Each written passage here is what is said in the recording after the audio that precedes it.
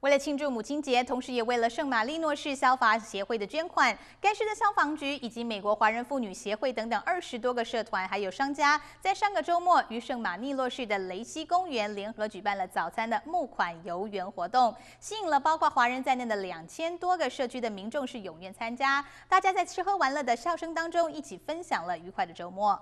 华福会会长曹林现场介绍说，圣马力诺市每年都举办一次为消防协会募款的聚餐游园活动。他们协会已经连续参加了两届，今年捐款两千元，用来帮助消防协会为火灾烧伤者急救治疗之用。他表示，圣马力诺华人越来越多，有责任和义务参与美国主流的各项活动，来提升华人公益形象，为美国的经济建设添砖加瓦。对，现在我们的华人来的越来越多啊，那个尤其是很多妈妈陪着孩子在这边读书的，我们希望把这些妈妈们、妇女、儿童们都团结组织起来，哎，为了我们的形象，我们要为社区贡献。嗯，我们不但要在这生活，我们主要还是去贡献，哎，去贡献自己的这个时间和金钱，呃，来让这个社区越办越好。据介绍，当天活动的内容包括儿童游乐场，里面有蹦床、滑梯、盘旋等游乐设施。还有美食区，数百位本地居民携家前来，一边品尝甜饼，